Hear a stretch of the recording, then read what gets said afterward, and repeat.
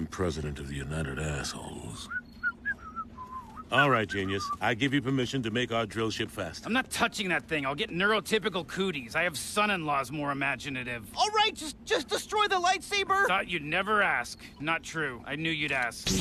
What is that? A second lightsaber with an AI-controlled gyroscopic rocket in the hilt. You had a lightsaber? Oh, did you want one? What a terrible gift that would have made. Vertisaber, state your prime directive. To stay vertical. Then show them how it's done. Affirmative.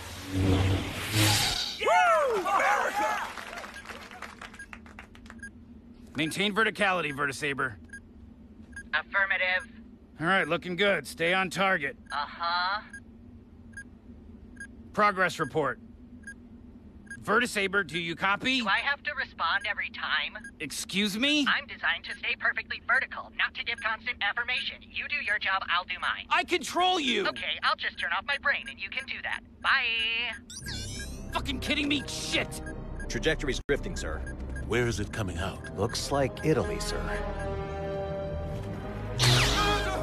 Okay, that could have been worse.